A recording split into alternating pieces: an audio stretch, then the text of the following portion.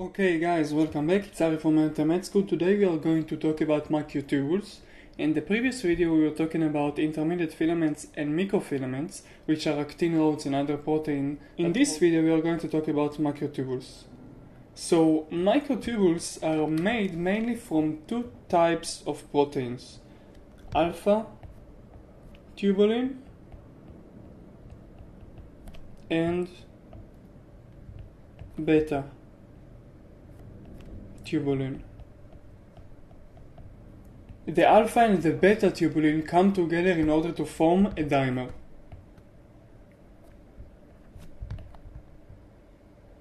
And this dimer come together in order to form a microtubule. Many of these dimers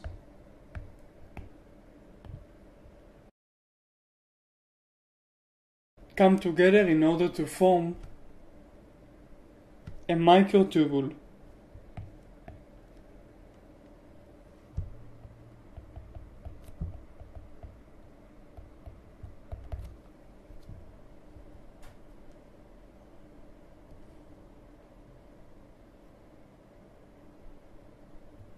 The microtubules have many roles in the body.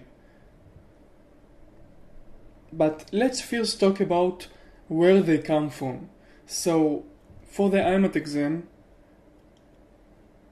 there is a definition you have to be familiar with. MTOC, or the Microtubule Organization Center, are the source that microtubules mainly come from, or organized from. We have two main types you have to know for the IMAT. The centrosomes,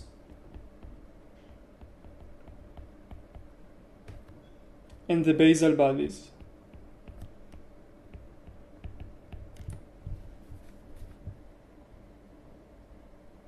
The centrosomes are organelles.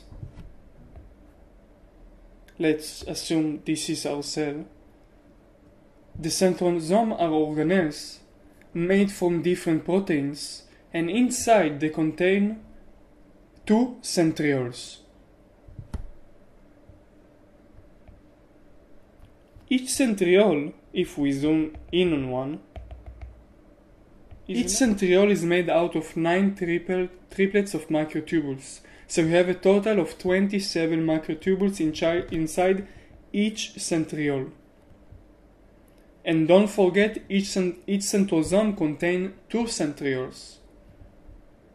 This is a very important fact for the IMAT imagine I'm cutting into half the centriole and have like a cross section. So if we look inside the centriole into a cross section, we will have nine triplets of microtubules inside the centriole.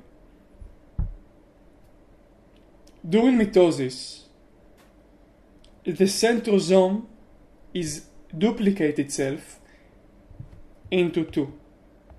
So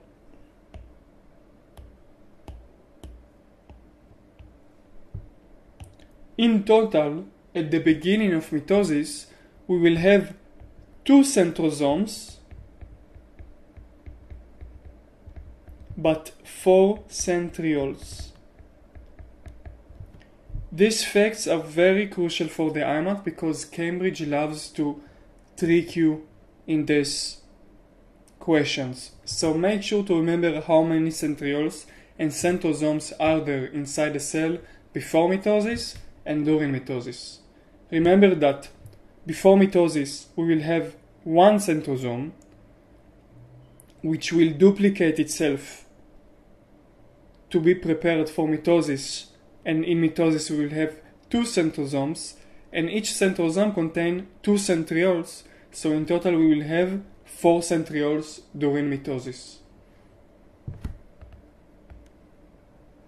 Also remember that the centrioles are made from nine triplets of three microtubules.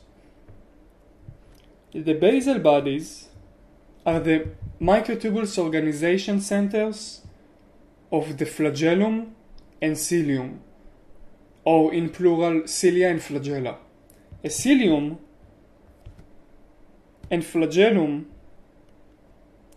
are two structures made out of similar structure if we cross section on the flagellum for example we will see that we have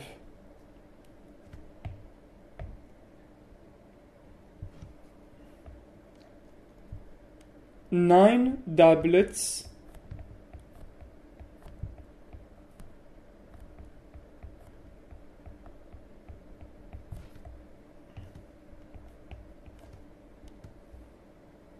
and two doublets in the middle. This structure is called 9 by 2 plus 2 because we have 9 doublets and a base, a center of another double. Please remember the difference between the microtubules organization center and the structure of the cilium and flagellum comparing to the centriole. This one is 9 times 3 of triplets and this one is 9 times 2 plus 2. Also it is very important to mention that I'm talking about a cilium and flagellum of eukaryotic cell. The prokaryotic cell has different structure and different proteins and on the IMAT exam they are going to ask you about the macrotubules organization center and the cilium of and flagellum of a eukaryotic cell 99% of the time. So make sure to study and know that the cilium and flagellum of the eukaryotic cells and prokaryotic cells are different from each other and have different proteins and structure.